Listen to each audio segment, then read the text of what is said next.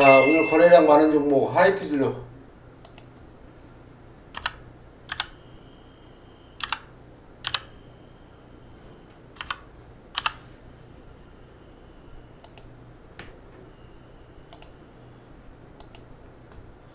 자 21선 신호는 나왔죠? 어. 자 주봉의 신호는 일단 떨어져서 어, 움직임이 예, 보이고 있죠 자 일봉상에서 어, 20일 우상향이 트니까 어, 올라가고 있어요. 자 현재 자리에서는 일단 홀딩 하시고요. 어, 일단은 어, 일봉상으로 자 3일선 갖고 싸운다. 아. 다올 투자증권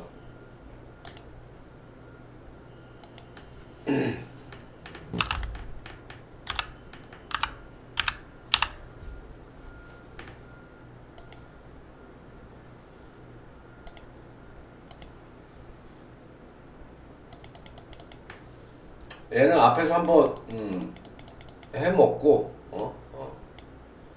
지금 음, 내려와서 조금 움직임이 좀 보이는데. 좀 내려왔다 갈 가능성이 있겠죠? 어, 자 갖고 계신 분들은 3일선만 갖고 싸우시고요. 어, 이 종목을 관심 있으면 이 밑에서 한번 타이밍을 노려보셨으면 좋을 것 같아요. 자 대한금속. 어, 오랜만에 대한금속이 올라왔네요.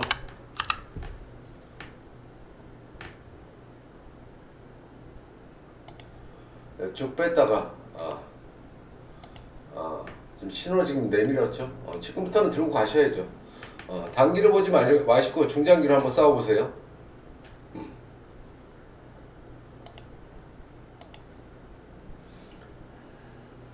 하천기계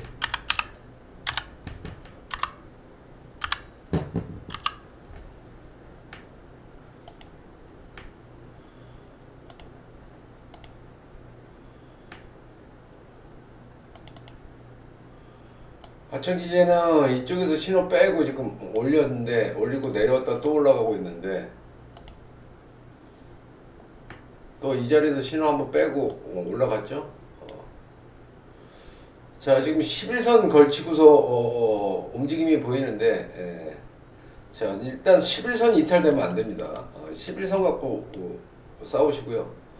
11선 어, 손절가는 이 11선으로 잡으시고요. 손절가 11선 어, 금액은 얼마? 4,100원으로 잡자고요. 아예 손절가 4,100원 잡고요. 4,100원. 손절가 4,100원 잡고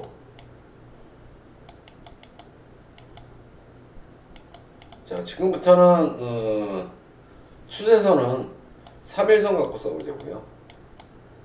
추세선은요. 자, 신규는 진입하지 말고요.